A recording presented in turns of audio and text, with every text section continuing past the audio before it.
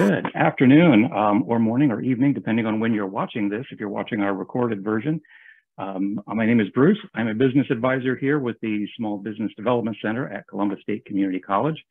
Um, and you are joining us for um, our special Small Business Week um, episode of our Small Business Spotlight series.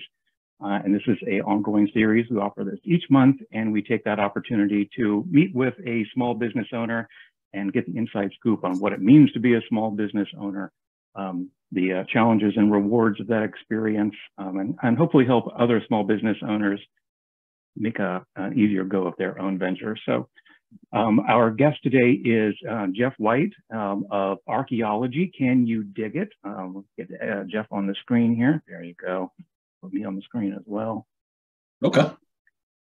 Excellent. So, Jeff, thanks for joining us. Um, you know, I'm sure you are busy. Um, school's wrapping up here, so everybody's trying to cram in last minute special guests, right?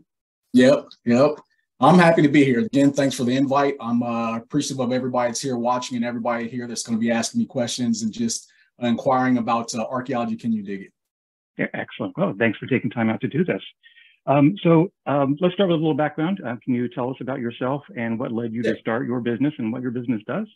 Yeah, absolutely. So uh, again, my name is Jeff White. I am a archaeologist and anthropologist.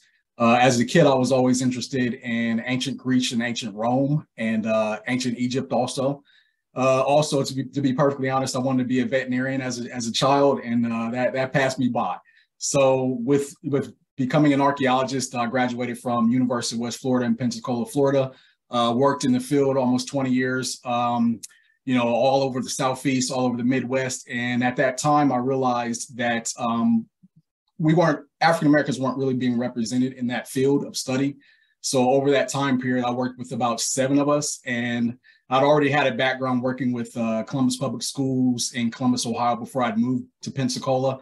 And so I just had a brainchild about basically creating a program and a business that uh, reaches kids and teaches them about anthropology, archaeology, everything about history, and uh, using my skill set to teach them and educate them through hands-on uh, science activities as well.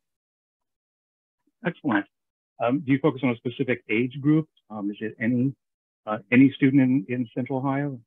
So great question. So I've been lucky enough to teach uh, actually from, from nursery up to about 10th grade. So nursery is going to be a little more difficult than uh, your, your 10th grader. But uh, basically what I do is I kind of use my programming to uh, reach whatever age group that we're talking to.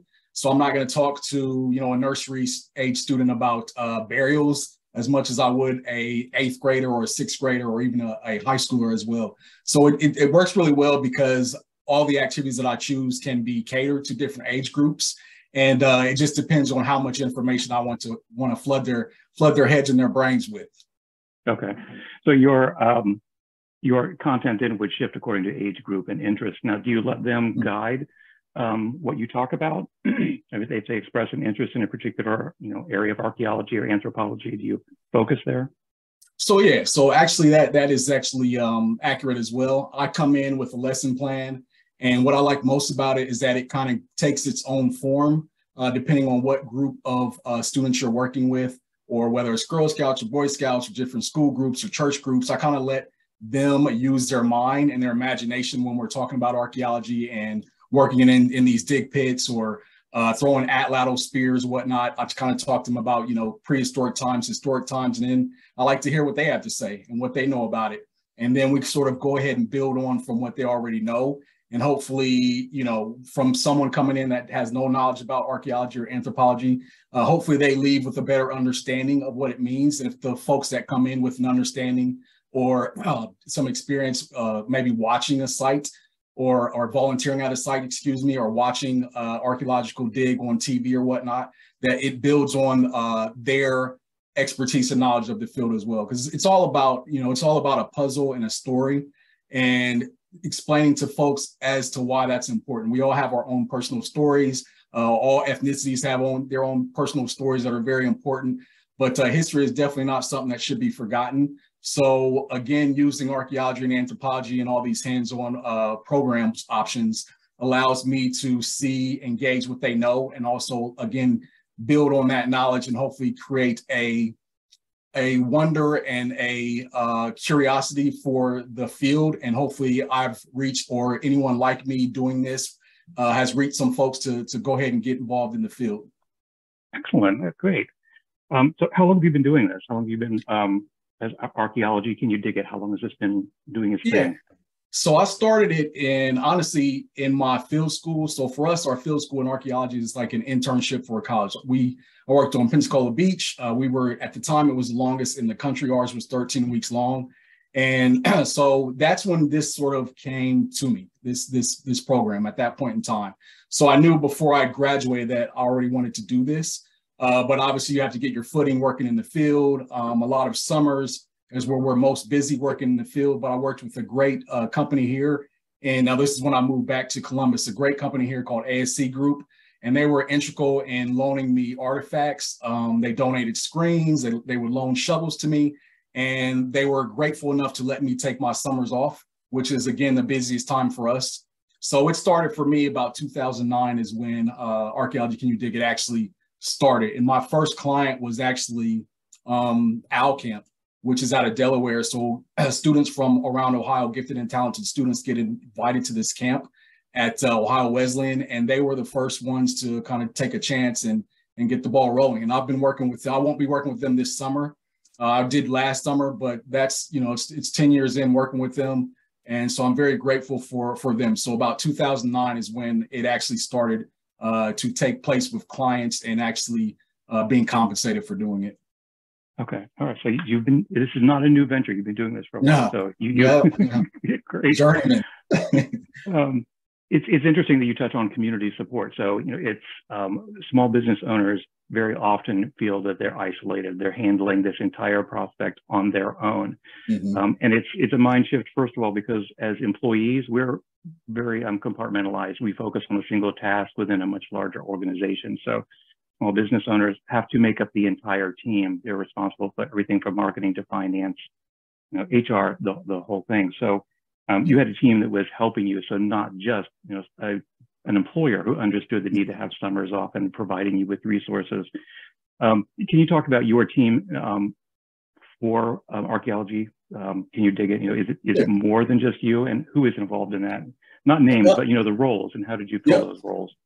So actually, uh, family is obviously integral. You know, your family's always going to be there to help you out. Uh, so they've done a tremendous job of helping me move this forward. Um, there is another individual that sort of works on the sort of the computer side or the website side, or helping me create some supplies uh, like the castles and catapults. You know, everything has to be kind of made for it because the kids get to take that home. So I have someone there, but but honestly, you, are right. You hit the nail on the head. It is uh, it is everything. You know, it's the marketing, it's the presentation, it's the cold calling, it's the uh, shopping for the supplies, it's the making sure that you're sanitizing everything correctly, especially after COVID hit. Um, so, so there's a lot. So as far as the moving parts issue, it's me. Um, so I'll go in, I'll work with 30 students. I'll, I'll, sometimes it's been 50 students. And so it takes a lot of planning to make sure that you're going to have enough activities, uh, enough supplies, uh, to keep everybody involved because you, the, the thing that you don't want is for kids to get bored. Uh, so if kids get bored and, and, their, their eyes get you know a little laid over like they're going to sleep, then then I'm not doing my job well.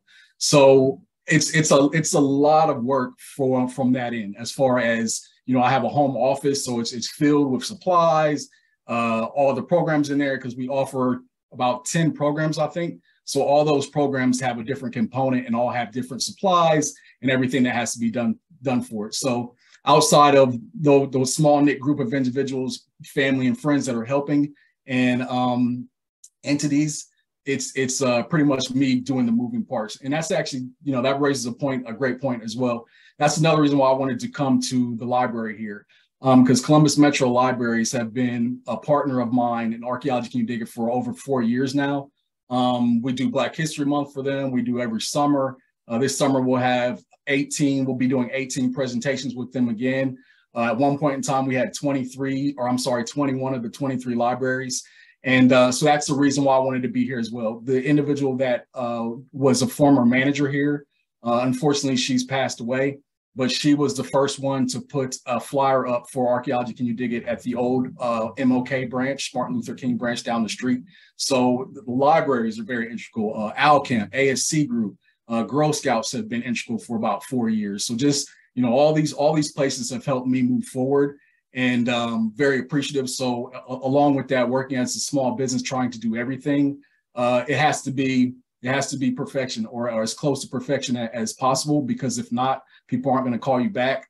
And someone that's a, a, such a small business like this and like you know i don't i don't get grants or anything. I, I got i was awarded one grant which was uh, helpful through you all as well. So i should i should put you in there as well uh, the ohio small business administration because you are wonderful as well. You've been very supportive as well so but outside of that it, it's kind of uh, me hustling and bustling and you know coming up with different ideas like oh castle and catapults kids would love this or um, oh, okay, well let's let's set up a residency where, where I can actually have kids excavate uh, out as well. So there's a plethora of schools that you know that I couldn't say enough about.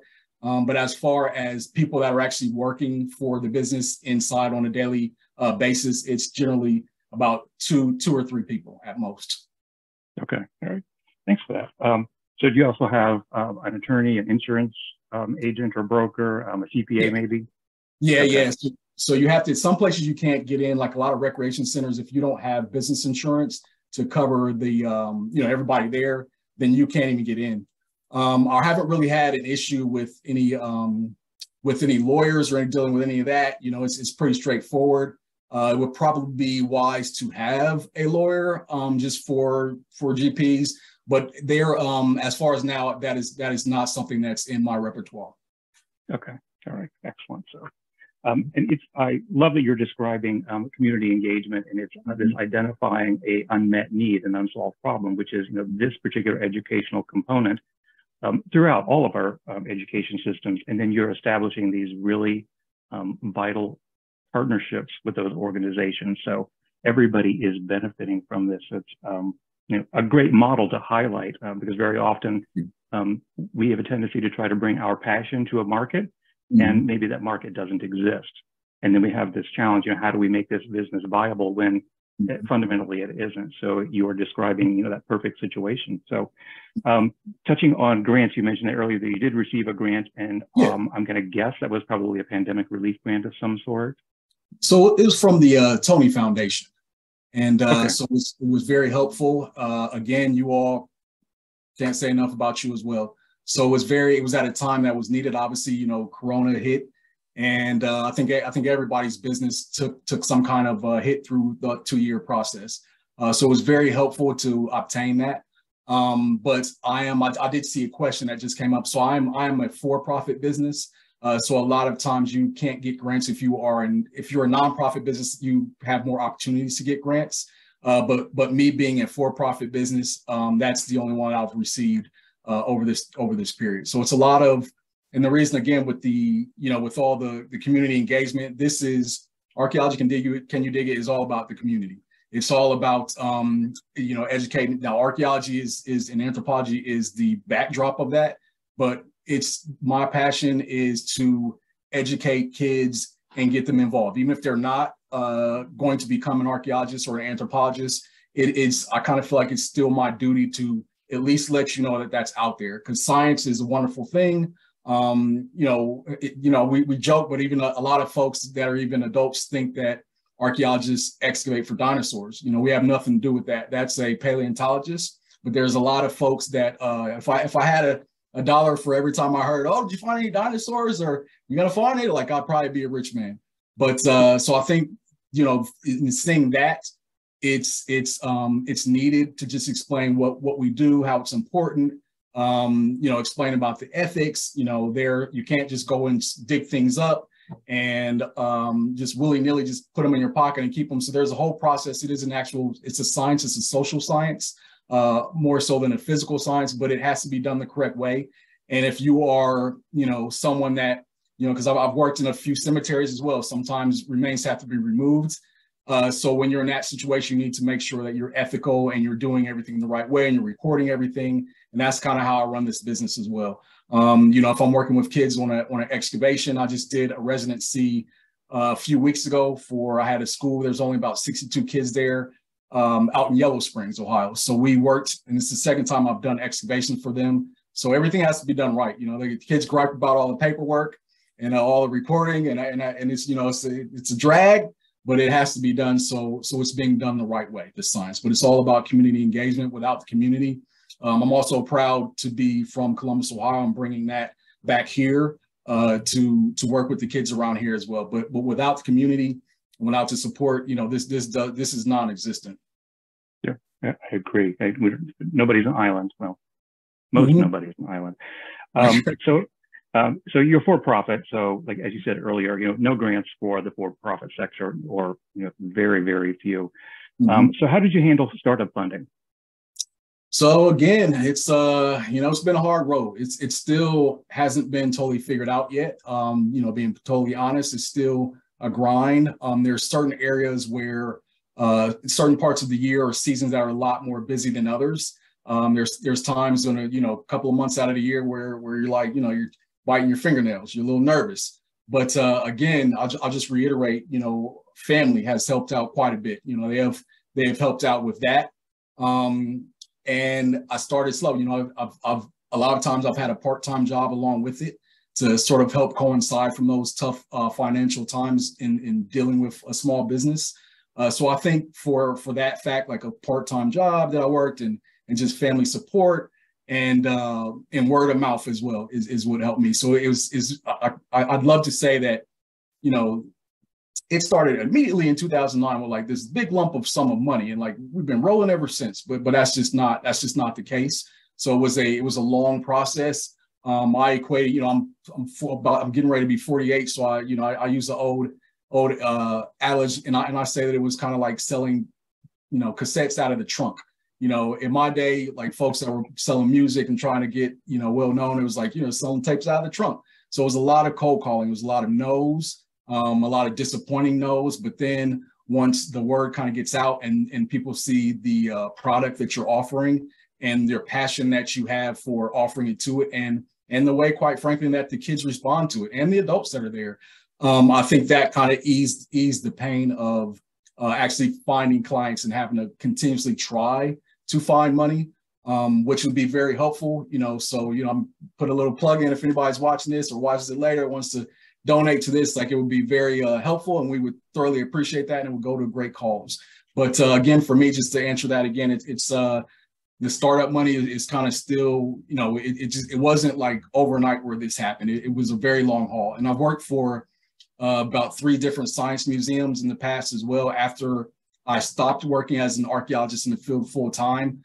Um, so I think that helped me gain some, clearly it helped me gain some experience and some extra knowledge. And that's how why I have a chemistry component to it as well, where uh, there are you know hands-on chemistry programming that kids can partake in as well.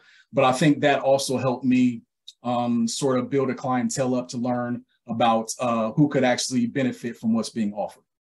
Excellent. So you've really put a lot of thought into your programming and what you're working with, who your customers are. So you, mm-hmm. um, you know, we always preach on understanding who your target market is and what makes them tick, so that you can really connect with them and meet their needs. So, mm-hmm. um, you know, by extending yourself beyond archaeology into chemistry, you are um, taking a more holistic approach. So uh, that's Absolutely. great to hear. Um, and uh, you have the benefit, small businesses have the benefit of being more agile. So if it's just a small operation, it's just a single person, when you're faced with a challenge, you can adjust, you can, you know, shift and pivot and do whatever you need to do. So um, you mentioned, you know, working a part-time job because that's what makes the business work now. That's what sustains you and prevents the business from just collapsing entirely. So that's really valuable information. Uh, along those lines, talking about pivoting, COVID was a challenge for every business all around the world. Mm-hmm. Nobody saw that coming, and there was no precedent. There was no roadmap for how we deal with this. So, mm-hmm. how did you approach the pandemic? How did you pivot? How did you cope with that challenge? Uh, great question. So I did a lot of, I bought a camera. Um, so I got a camera and then I started doing virtual programming. Uh, so I had an opportunity to reach um, an entity basically associated with out of Sacramento, California. I've done one for UC Berkeley. I've done one for the Jack and Jill program here in Columbus as well. So for me, and it took a, it took some thought. It took some time. You know, I, I was uh, like everyone else nervous and uh, and I kind of just to, to, to like, oh, how can I get there? You know, you can't be around kids. It's all about being around kids. So for me, it was to purchase a, a new camera that um, that I could do virtual virtual programming with, and just kind of kind of wait it out. And there, you know, it, it wasn't easy. It was um, a lot of oh, is this? Are we coming back? You know, is this? Are we able to do this? And then so I also did a series uh, with the same camera at my at my you know home office basically, and I did a three part series on Facebook. Uh, each one was at least 45 minutes, close to an hour, some of them, but I talked about lab work. Um, I talked about artifacts. I even uh, set up excavations in my backyard and recorded that so kids could see that. So it was basically a three part series just to keep people involved uh, in what we were doing. And then also we traveled to, uh, you know, first African American school in the Northwest Territory. And we met a wonderful woman named Lucy. So we recorded her and recorded the school there. So everything was kind of moved to a virtual, sort of like a virtual um, outing or outlet basically for me at that point in time. And then, you know, it, you know, finally, then clients after after folks start getting back in the schools or the churches or the libraries or you know wherever they were wherever they were at, they were starting to call back. And I think that is um, because of the product that's offered I think that they were loyal because of what they saw before, so they came back. But it was very, it was it was a very nervous time, and like I said, for me, I had to do a come up with a virtual component that I could still reach kids, and uh, also it was it felt great to be outside of our state to be able to present what what we were doing as well. So for me, it was a virtual thing. Okay, so in some ways, the uh, pandemic created an opportunity. I mean, you've explored new avenues, you know, going digital um, having mm-hmm. a national um, presence working in your own backyard. So, mm-hmm. um, would are you retaining um, those um, new avenues, these new approaches? Yeah, so not not so much uh, with virtual programming. Um, I think folks are just happy to be back in person again, and it's it's a lot safer now than it was. So we, so I, I generally use the camera for either recording, like I record, you know, folks that that are that I'm presenting to, or take a plethora of pictures, you know, on the Facebook that I use and Instagram, you know, there's thousands of pictures, you know, it's, um, so I, I generally use it for that. I don't, I don't really do a lot of more, a lot more virtual programming as I did then. I would, you know, I would if, if anyone was interested in that, like if, if especially out of state, I'm all for it. But I think within um, our state and um, the states that are surrounding us that are close and around in our city, I think it's a lot more hands-on now. So a lot less uh, virtual programming for myself. Okay, makes sense. And uh, yeah, um, can you talk about the challenges of running an educational program? And I ask because education is typically nonprofit um, or you know private schools. So you're unique, as you mentioned earlier. You're not a nonprofit, but you're providing educational content. So mm-hmm. what kind of challenges do you experience with that, and how do you cope with them?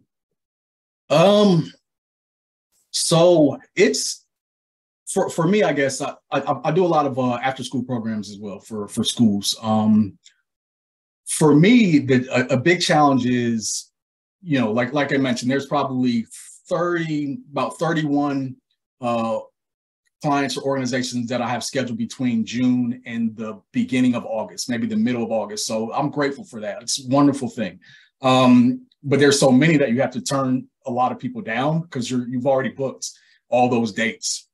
So for me, the challenge is making um, making making the clients understand that we need you throughout the year also, um, not just the summer, the summer months. And again, those entities that I mentioned before keep us um, working throughout the year.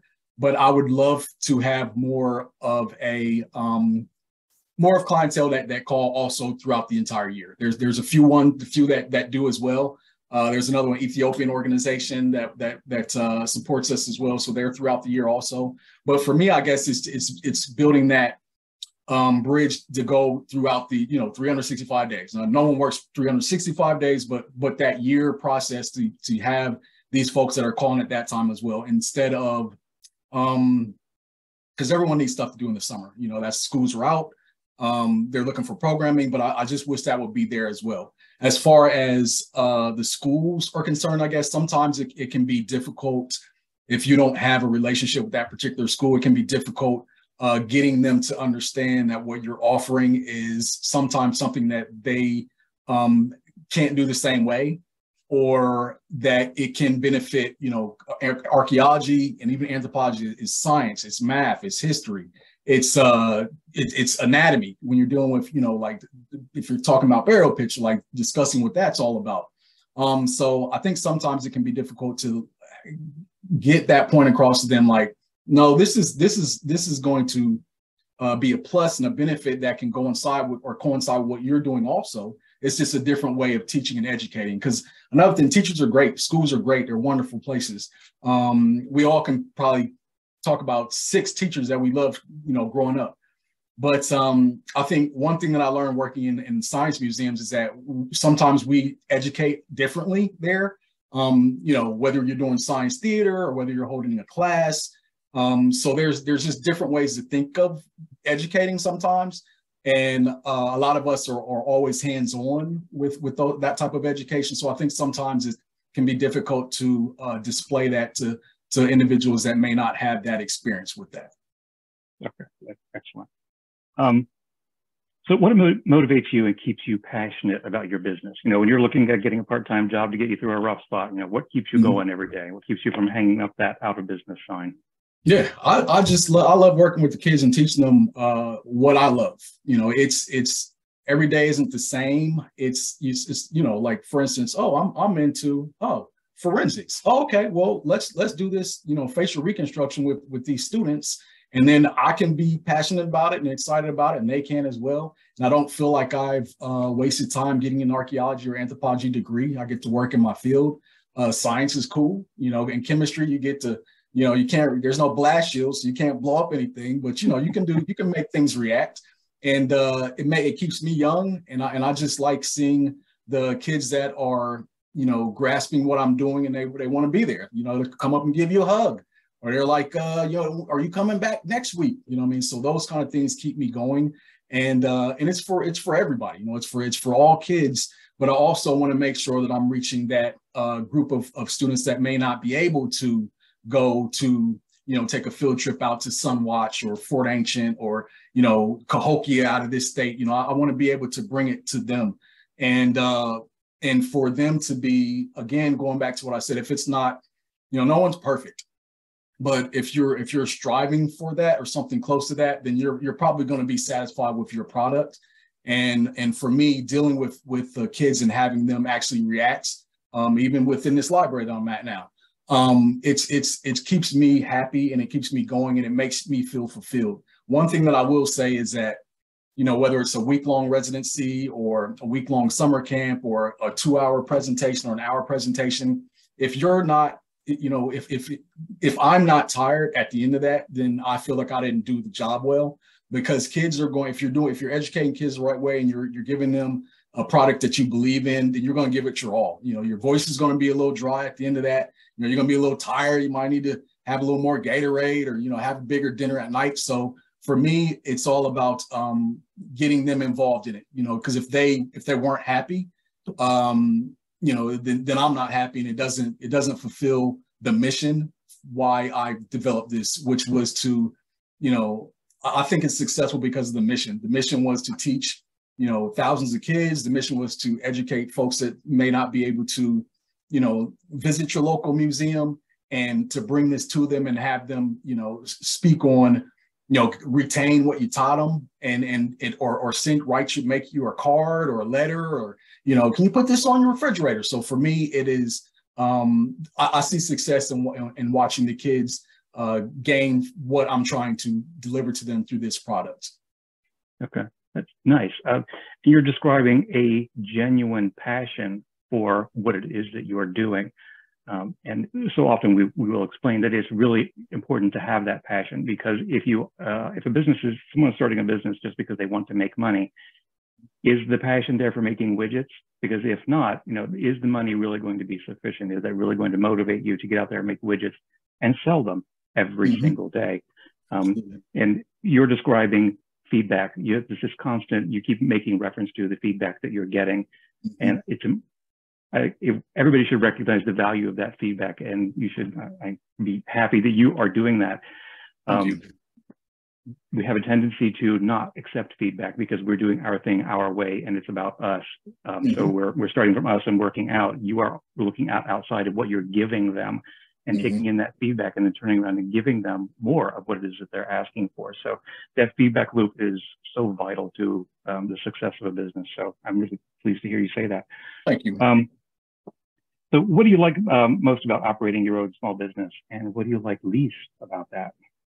Um, I, I, guess I like most is it's my you know archaeology is my passion. You know, it's um very interesting field of science. You know, anthropology also obviously if you're an archaeologist, you're an anthropologist first. Uh, you don't have to be an archaeologist to be an anthropologist. There are five disciplines of that, but to be to get your degree in archaeology, you have to uh, anthropology is part of that, and then you specialize in archaeology. So just just just all the interesting things that that um that I've read in the past or like that interest me or like going to visit, you know, Serpent Mound or just and just the feeling of being there and just just for me, just sort of running my mind back to um, what these people were actually doing at one particular time in history and trying to figure out again, trying to put that puzzle together and keeping um, you know, understanding the importance of that and also understanding that they weren't, you know, prehistoric peoples weren't much different than us. Um, so, you know, a lot of the same things that we do, they did just in different ways. Um, you know, so for me, it's just that passion of, of working uh, in, in the field of archaeology in whatever, you know, in, in whatever way that I can do that and being able to give that back. I think the least would be um, always trying to find, uh, you know, your financial ground and it's always a go. You know you always have to look for more clients for new clients. You always have to make sure everybody's 100% satisfied again. Um, and so that that grind just just like any other small business or any other business is probably a little difficult. Um, obviously everybody's going to be spending a lot of time when they're a small business so i don't mind that because it's you know the time that you're spending on it is going to make what you're doing grow so I don't I don't mind that at all. But I think sometimes trying to, you know, because I, I don't we don't really ask for donations. You know, I, I probably should set up a donation page, but uh, we don't really get any of that. So I think that that continuous grind of just feeling like, okay, if you're not getting this, then you know, I might have to call it quits or do something else. So I think that for me is probably uh, my least favorite. But that's just unfortunately, you know, that's just business, is capitalism.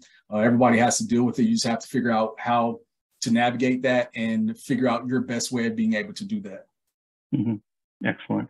Um, and I, I, know there are channels that will follow on like YouTube and that we frequently ask, you know, be a, you know, support us through Patreon, be a sponsor. Mm-hmm. Um, and, you know, mm-hmm. understanding that there's so much more that goes into creating that 30 minute piece of content than just that 30 minutes of recording um, and supporting that and how vital it is that we do that. So absolutely.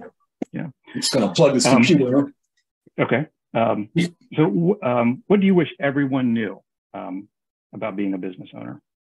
Uh, the the satisfaction that you can get from it, um, the satisfaction, um, the the freedom. Sometimes, you know, you have you have more as far as your time. You have a little more freedom sometimes to be able to do some things in your life that you may, uh, you know, not be able to do if you're not doing that um, it's fun. You know, it's it's it's more fun than not being fun because um, because it's something that you created and people are buying into it and they are uh, you know happy with your offering. So for me, it's it's it's it's that. Um, again, it's uh, you can stay in your field, whatever you you know. No one, I don't think anyone's really going to start a business that they're not interested in or that they don't uh, find um, excitement in. So for me, I think it, it's it's that just just um, being able to come up with so you you know you brought something in the world that that wasn't there before, and um, it, it's it's you know long after I'm gone, you know it, it'll if someone you know if someone wanted to be an archaeologist in 50, 60, 80 years from now, like well let's look up here and see what this was about. Like it's still there. so um so for me that that kind of makes me happy to leave something uh here and and and it's you know it's it's uh for me, that I think that's it. Just trying to get to that point where, um, you know, it just it just where everybody just buys in and believes and is like, man, this is a wonderful thing. And I, and I think it's, I, think we are there. Um, I think a lot of folks. That's why they, they call it back. It's a lot of word of mouth. Um, so so I think for me with that is uh, I think I would answer with that as far as putting something in the world that that that I see as at least positive um, helpful to kids to help them grow, and to um, keep moving on from there. Will be my my answer to that. Nice. So you're describing creating a legacy, you know, just the yeah the lives that you that you touch, but you know, the benefit of the digital world, we can live forever on yeah our exactly. chosen platform. So um, exactly. Let me plug this in really quickly because I think Okay, my battery's almost out of here. Okay.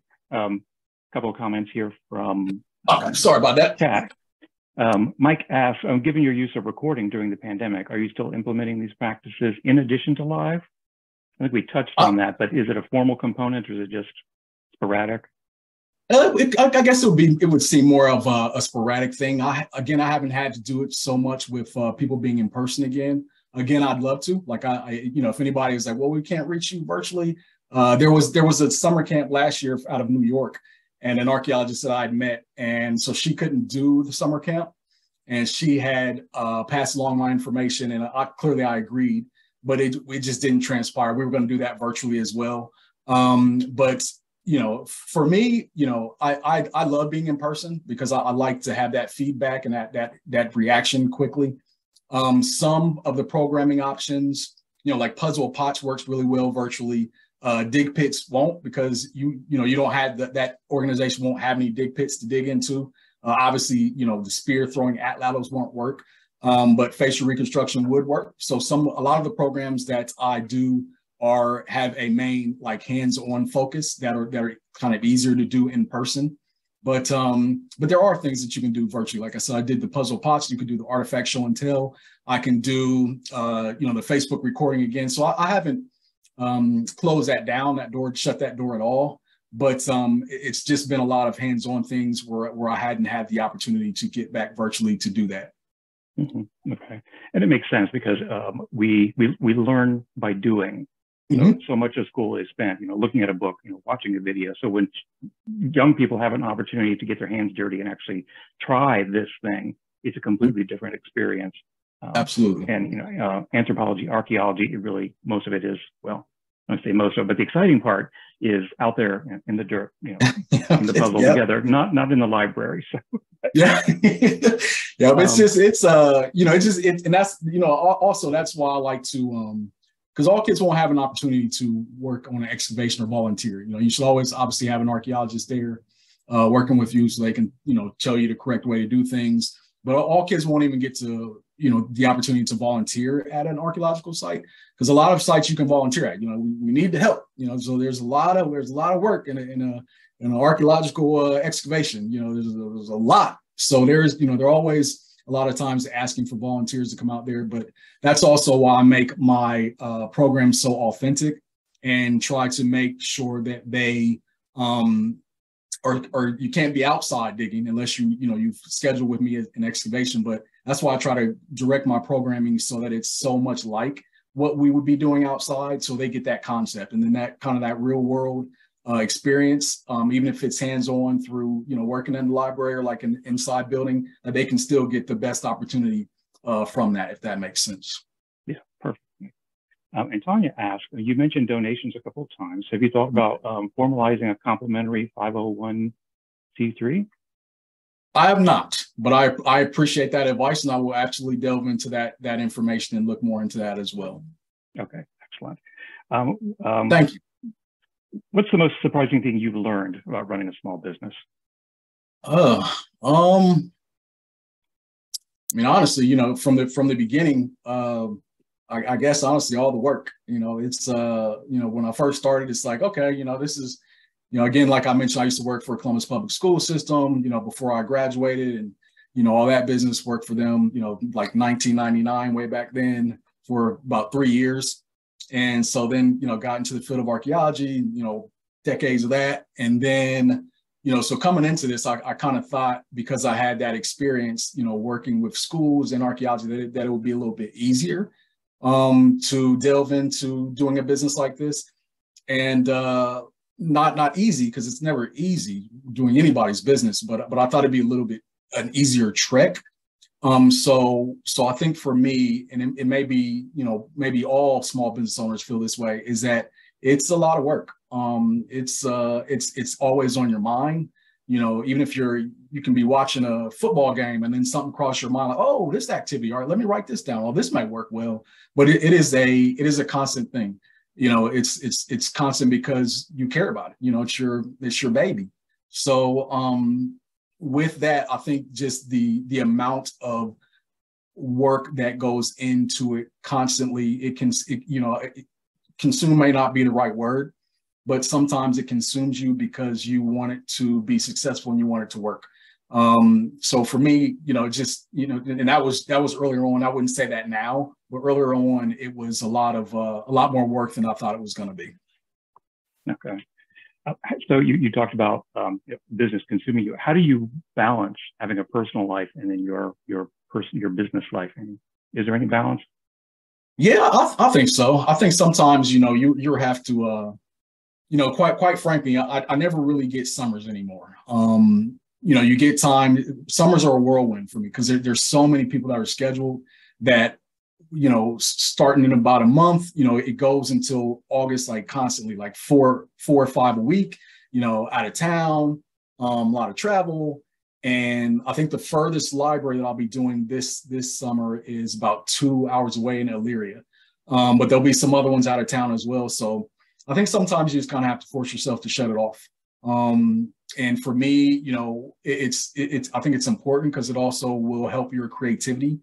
And um, you know, again, it, it consumes your. It's always there. You know, you can't really ever get away from it because it's there. It stares at you in the face when you get home. You know, emails and someone's call or calls. But um, I guess for me, yeah, it would be sometimes you just have to kind of force yourself to to shut it down, um, even if it's just for a few hours out of the day or or a day or two. You know, it's uh, but but I think it's and sometimes sometimes you you need that time just to again uh, be a little more creative or or step back, take a step back and look and say what um you know what you could be doing better or or what you're you know or what could be changed a little bit different. And also I want to bring up um two two two schools. Um, so Franklin Business School uh, years ago, and uh, most recently the Brown School Business School at Ohio State. So I had the opportunity for some students that are uh, both locations. It's one, you know, years before, one years after. So I had the opportunity for these business uh, marketing students to create a plan for take this business. You know, I wasn't the only one, but take this business and show me what, oh, this is great, or maybe you can do this a little bit better or a little bit different because there's, you know, I'm I'm 48, you know, so they're like in their younger 20s. So they're they're doing a different thing with like media and like websites and like, well, maybe you don't need to use so many pictures. People might not look at them all anyway. So I, I think um, I was very uh, grateful to have them be able to have me take a step back and look and be like, oh, I could do this a little bit different, or this could make my life a little bit easier doing this. So things like that, even even in entities like that and situations like that, help you to turn it off for a minute and just you know have somebody else hold, you know, carry your baby for a second, and then you can learn from them. So, so I think sometimes it's very important to, to you know, give yourself some time and shut it off, and and you know, you come back stronger sometimes when you do that. I think. Okay. Do you ever get to take a vacation? Uh, well, I went to visit my parents last uh, after summer, after the, after the summer run last last uh, year. I went to visit my parents, so that was uh that's always fun and and and great. They live in Florida, so you know the beach was nice and seeing seeing my mom and dad. And but uh, outside of that, you know, maybe maybe some some day trips, you know, some dates or some things like that. You know, you, you are committed to that business, or you, or you're saddled with it. Depends on how you look at it, right? Right. I agree. Um, so, how does the reality of running a small business compare with your expectations? Um, I think I think it's pretty much aligned. Um, you know, again, I, I, I didn't think it was going to be so difficult um, at the beginning of this, but but I think you know over time, you know, as time passes and goes by, you realize like you know if you really want this, you know, you, you're going to have to you know put put your whole heart and effort into it. You know, you're, you're going to have to be there at you know you just got to be there. You got to you got to you got to shoot for the stars to make sure everybody's happy.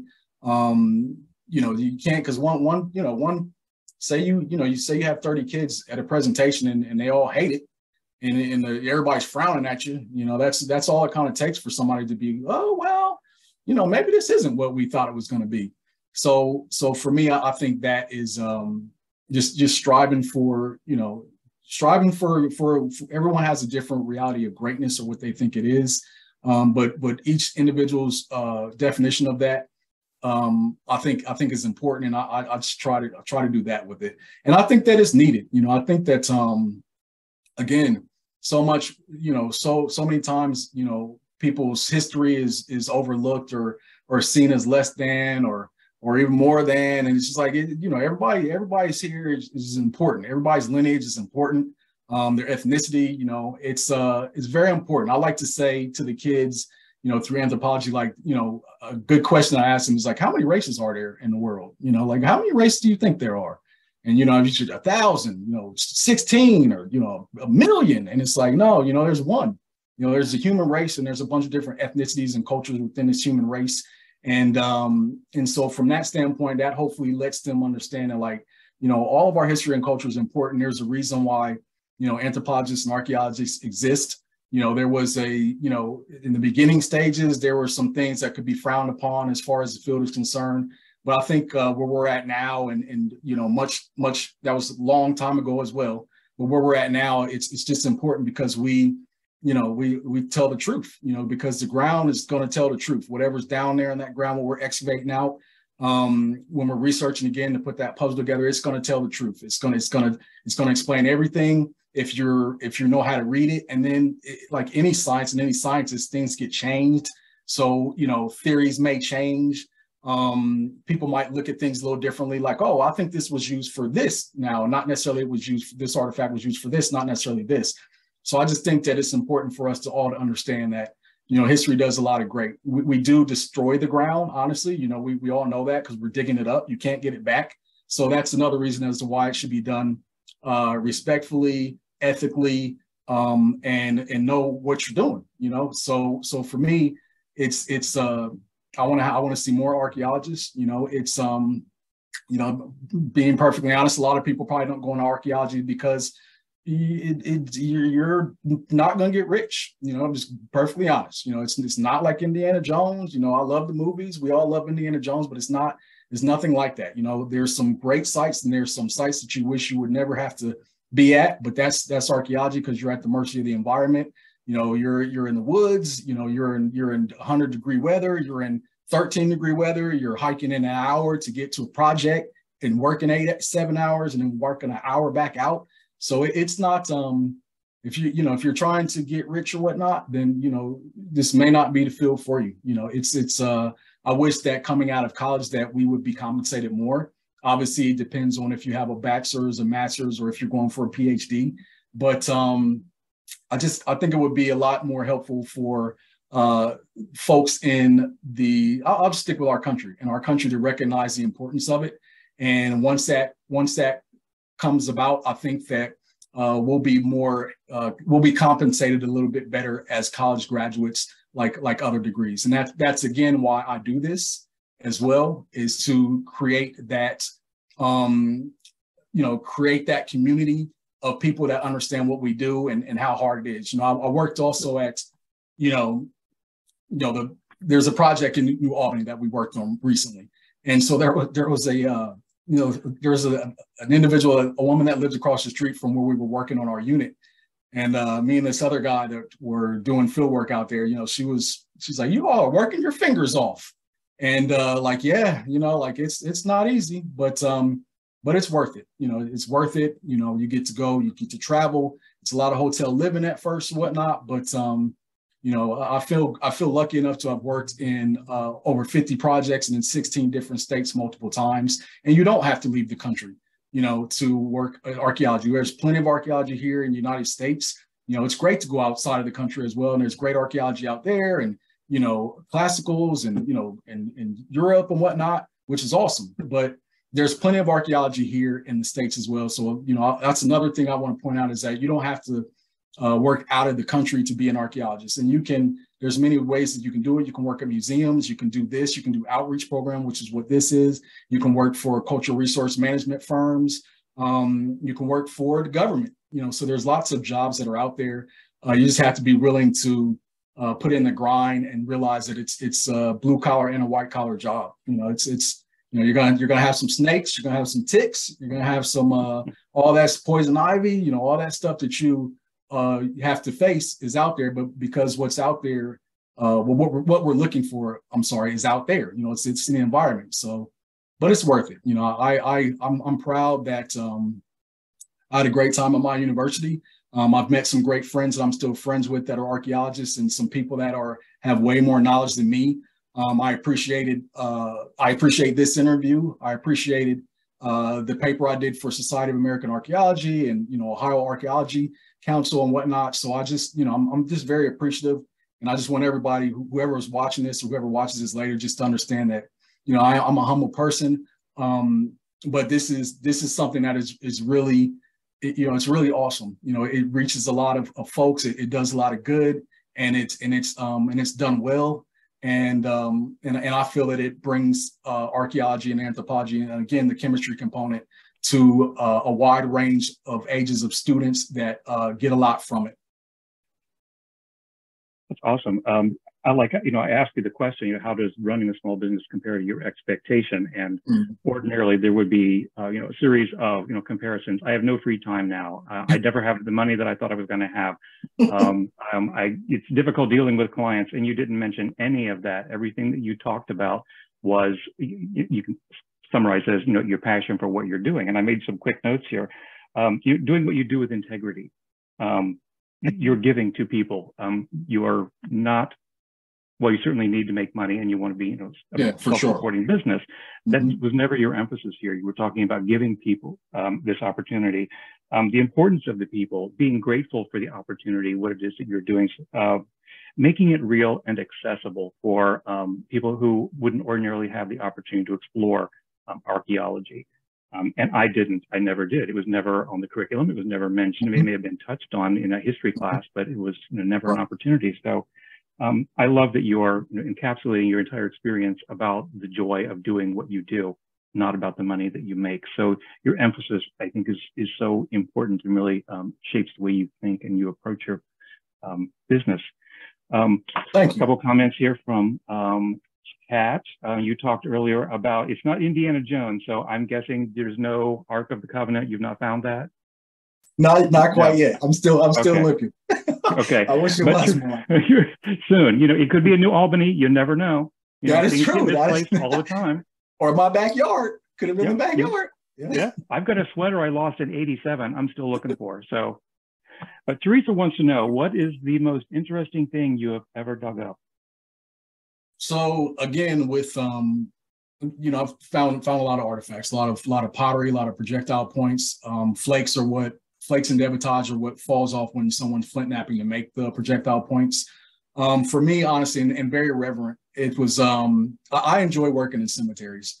Um, you know, I do, I'm not a forensic anthropologist. Like I, I have some programs that sort of delve into that, but um, I, I, I enjoy, you know, um, I, I, I enjoy working in, in cemeteries.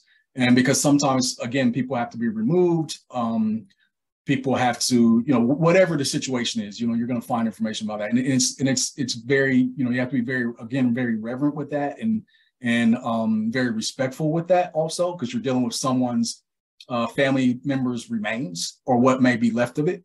But for me, um, that was that that that's probably what's most interesting to me about that. I've you know I've worked in one in Columbus, I've worked one in Pennsylvania, um, I think actually probably two in Pennsylvania.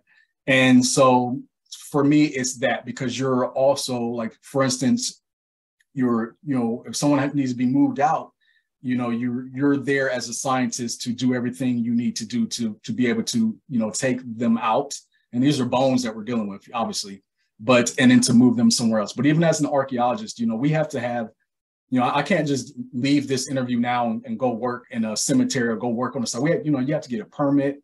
Um, you know, this, is a federal charge. You know, we even had to take a law class uh, before we could graduate because you have to know the certain laws of areas. So even as archaeologists, we can't just go dig and like pot hunt and loot and whatnot. But uh, for me, and, I, and I'll, I'll, I'll say this as well, there was, um, now I wasn't, I wasn't the curator on this project, but once we uh, worked in this particular cemetery, um, there was a, you know, so the curator at the time, unfortunately, he's he's passed away as well. He was a great guy. But um, so he had all of her uh, remains and bones that were laid out. And at the, what she did have on was her wedding ring. And so that alone right there, you know, it's like till death do us part, you know, like it, it is, it's all again all about a puzzle and like putting the story together and like what were these people doing. And so those types of things are, are, are exciting. As far as um, time period sites, I, I enjoy prehistorics. Um, you know, I love historics. In the university I went to, we had a we're, we're majority historic. You know, it's, it's in Pensacola, Florida, so it's a city of five flags. There's a lot of folks that live there and uh, occupy that that area uh, there as well. But you know, sometimes with historic sites, you'll have maps. Um, you'll have information that's already been written down in that, and then sometimes with prehistoric sites, you have to kind of use a the information is that's ready available, if that makes sense. So in archaeology, there's generally you know, a phase one, which a phase one is just kind of like a survey. We're doing a survey, a grid that we're covering to see if anything is of, of major importance is found. If there's some uh, very important or pertinent information, then we're going to do a phase two. So we're opening up units, you know, one by one, things of that nature. And then once you hit a phase three, uh, you know, you're doing mitigation. So you're out there like full blown, you know, archaeological site, everything, units, trenches or whatnot are being used. And um, so for me, you know, I I I, I think I, I enjoy uh, prehistorics the most, if that if that makes sense. Okay, so so lots of human remains. I'm sorry.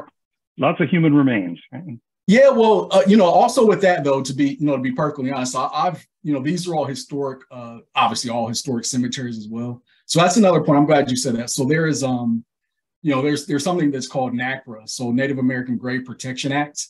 Um, so obviously we know before that uh, some of some people's burials were being not treated as well as they should have by individuals that are not archaeologists, you know, individuals that are, you know, pot hunters or looters.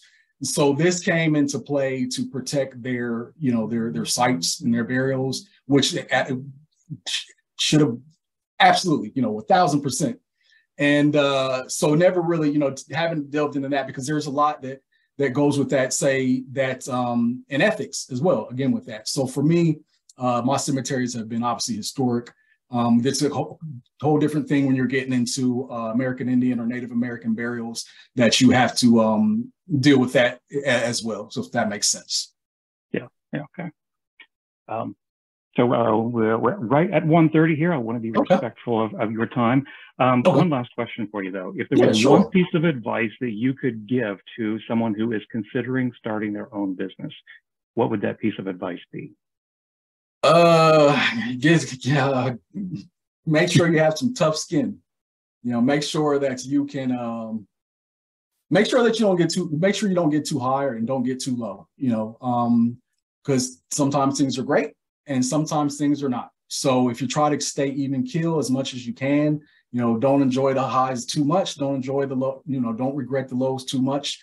Uh, just try to stay in that that that you know middle wave and try to learn from both. Learn from the positives, you know, the highs, and also learn from the lows, and try to also keep not necessarily reinventing yourself, but make sure that your you know whether your product or like whatever your business is, make sure that it's relevant and that you're keeping up with the times. You know, that, that would be my advice. Excellent. Thank you. So you're talking Thank about you. you're living in the moment and recognizing that this moment is temporary. Things are going to change. So absolutely heading one way or the other. Absolutely. Oh, great. Um, so thanks for taking time out of your day to be here. Um, again, uh, if you uh, joined us late in the program, this is I'm Jeff Smith with Archaeology. Mm-hmm. Can you uh, dig it? And mm-hmm. um, if you want some more information about Jeff and his program, feel free to reach out to me, um, bwalters at cscc.edu, and I will provide you with Jeff's information. Um, if you are interested, we have a second uh, regular monthly installment of our Small Business Spotlight later this month, and that will be with Esther Salata of Benesafe Solutions, who is providing an all-natural um, solution for um, fleas and ticks in your backyard. So um, I'm told that it's a lovely citronella cedar and proprietary blend. So if uh, you're interested in joining um, us for that um, spotlight, please let us know. Um, and with that, we're two minutes over, so we will wrap things up. Jeff, again, thanks for being here. It really was a pleasure. Loved um, talking with you and learning about your business. Yeah, thank you for the invitation. Thank you for everybody who watched now and everybody who watches later. Like I truly appreciate you all. You're great for the city as well. You help uh, small businesses move along, and uh, we're grateful to have you. And again, thanks for everybody being here and the great questions and uh, just being interested in in uh, my little small business uh, makes me happy. So I, I thoroughly appreciate it. And uh, anytime you need anything, let me know, and I'll be there for you all. Excellent. Thank you. Urban, have All a great thank one. you. You too. See you later.